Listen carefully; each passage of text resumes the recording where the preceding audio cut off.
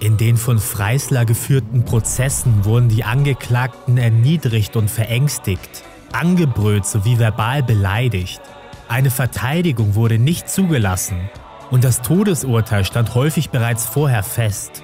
Der als Blutrichter bezeichnete Freisler fällte insgesamt 2600 Todesurteile, unter anderem gegen Mitglieder der Widerstandsgruppe Weiße Rose, wie Sophie Scholl oder zahlreiche Widerstandskämpfer des Hitler-Attentats vom 20. Juli 1944. Die zum Tode verurteilten des Hitler-Attentats wurden unter grausamen Qualen mit Klavierdraht gehängt.